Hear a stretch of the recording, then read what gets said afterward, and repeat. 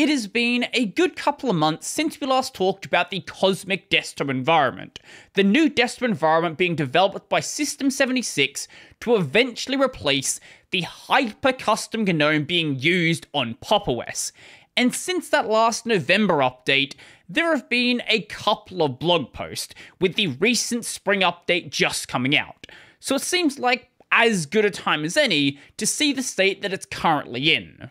The first change isn't that crazy, and you might even consider it boring.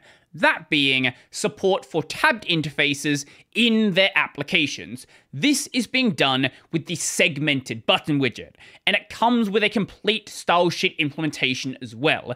Keep in mind that any styling that is currently available is completely subject to change, and as things evolve, it is almost certainly going to change but as it stands, it does the job that it needs to do. There was also a big change to the way that search works in the settings menu. Now it is going to be a continuous list that is updated as you search for something. So in this case, it's searching for the letters H and A, and is showing you all of the sections of your settings that have things that might be relevant to what you are searching for. And rather than making you jump directly to that page, it's going to list out those individual settings. This is very similar to the way it works on Android, and I love it every time I see it. But there's also been a lot of changes to the individual settings pages. One of those being the power settings, which didn't really exist at one point, but now it includes, you know, the general things you expect to see, like the power mode of your system, whether you want to limit the amount of battery charging, things like that, but also shows you the power level of your devices.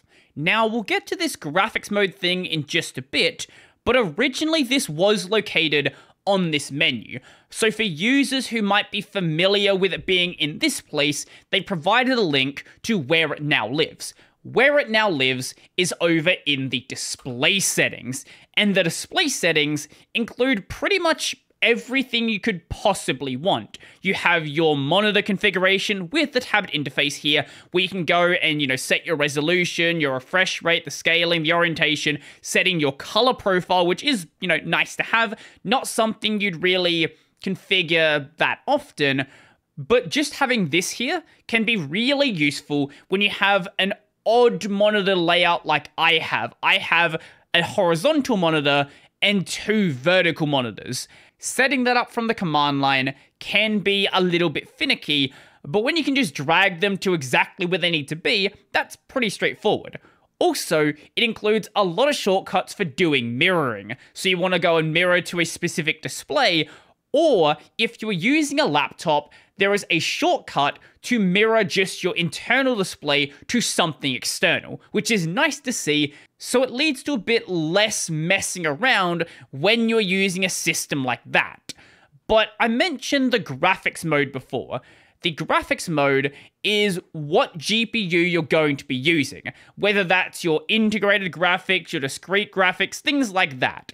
Previously, that was included in the power settings, but upon doing testing, they found that many users found it more sensible for it to be located in the display settings, but as some users may still be comfortable the other way, there is that link that will bring you over here instead. And as every modern desktop needs, it does have a night mode. So if you want to go and, you know, make the screen warmer, less warm, you want to have it set up to automatically change it depending on the time of the day, you can set the time or you can rely on your time zone and it does everything magically for you.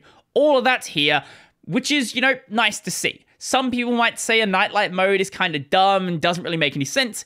It can be disabled if you don't want to see it, but for those users who do like to use it, it's always nice for it to be there. Now, the About page hasn't really changed that much in a while, but now it does say which version of Cosmic you are using, which, you know, a nice little thing to be there, not really that big of a deal. You don't really look at this screen that often unless you're trying to take like, you know, a screenshot and post it on various subreddits. But there is the ability to change your device name in this menu for things like network sharing, Bluetooth, things like that. But moving on, region, and language. This has some interesting ideas that I haven't seen in that many other places.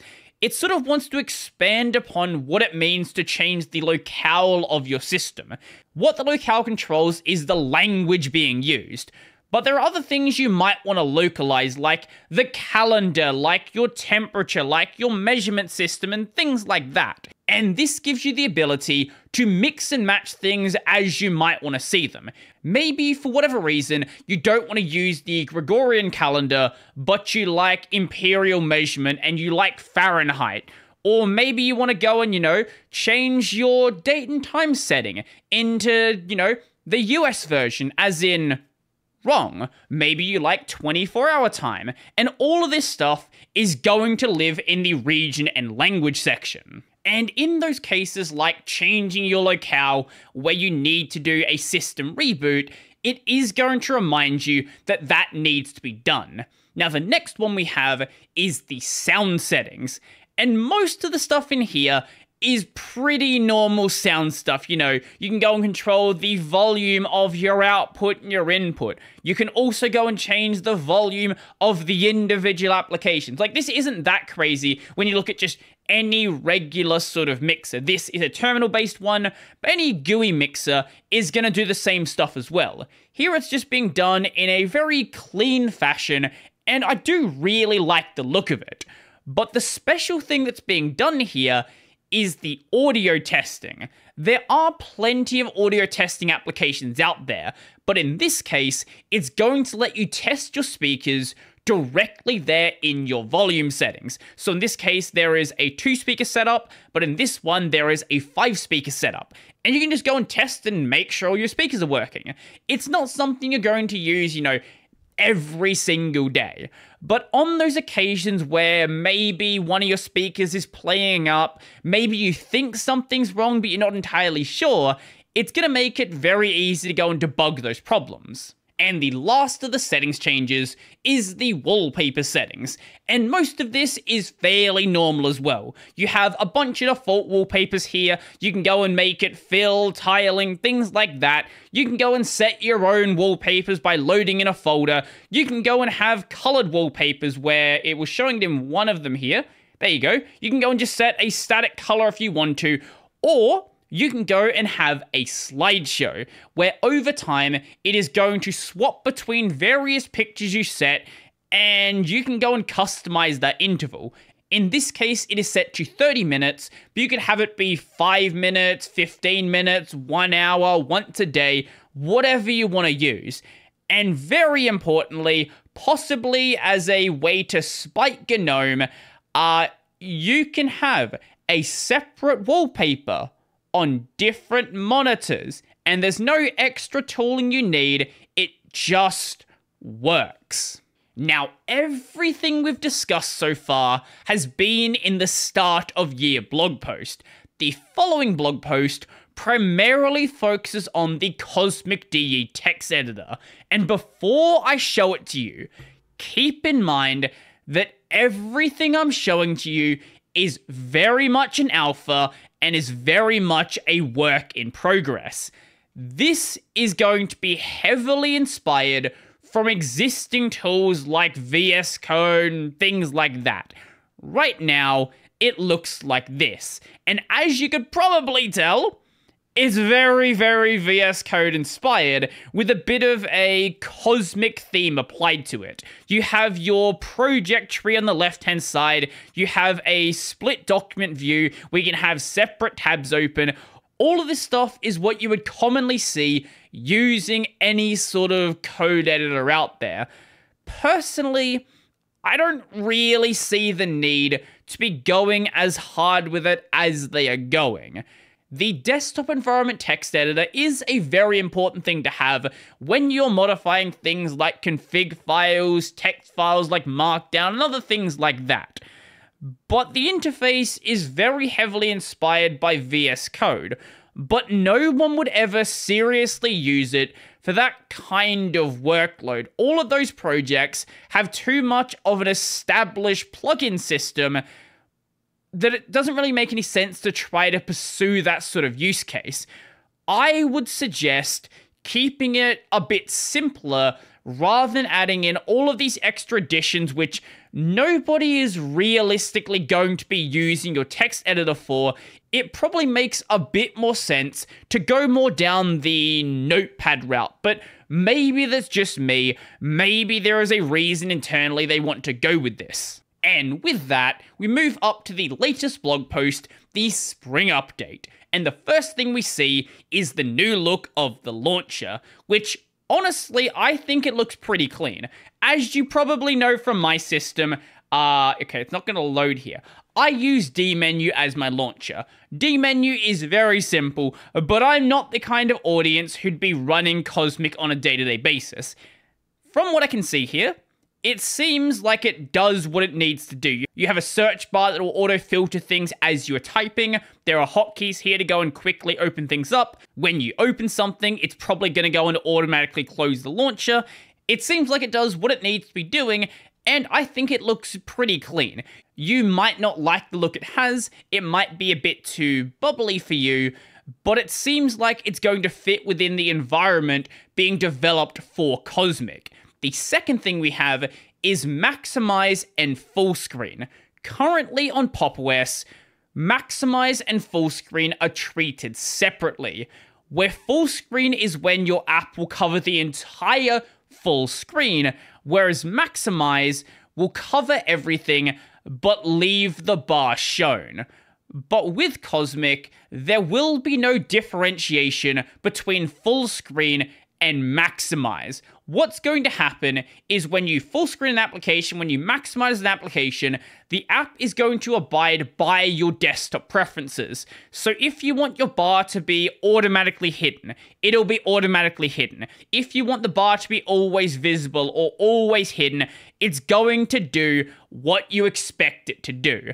With the exception of, you know, full screening a video in YouTube or full screening other things where it's expected that it's going to cover the entire desktop.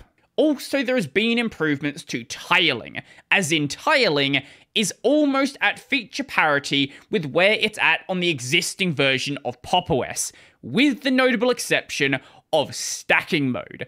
Additional features and hints to make auto tiling easier for more users are also in the works. This has always been one of the more compelling reasons to go and use Pop! OS, go and use the Pop Shell. So it's very good to see that it is going to be working as expected using Cosmic as well. And a lot of these other changes are more back end things or things you're not really going to see on a day to day basis, like Cosmic Time, their animation library for Iced, the performance improvements being made to their text editor to make it so it uses about half the RAM, which is probably good, you know? You have the RAM, you might as well use it, but if you can cut it down, that's probably for the best as well. Some improvements to the Cosmic GUI widgets, drag and drop support in their desktop, which, you know, probably pretty useful. And also, there's an application out there already using ICE animations. This is a project completely unaffiliated with PopOS. It is just some random developer out there who wanted to go and make their own form of software center. And you know, it does the job. It's not going to probably be integrated into PopOS, but it is nice to see that the improvements they are making to Iced are being used by other developers as well. Now, if I'm being completely honest, a lot of what Cosmic is doing is not new and is not unique and has been done on plenty of other desktops in the past. And I'm not saying this as an insult. This is a good thing. There is no reason to go and reinvent the wheel when something already works. You could say, oh, they shouldn't try to reinvent GNOME, they shouldn't try to reinvent KDE. But that's not a bad thing to do that. Take what works on those desktops and then bring it all together and make it really, really polished. If they can achieve that, they are going to have a really good desktop environment.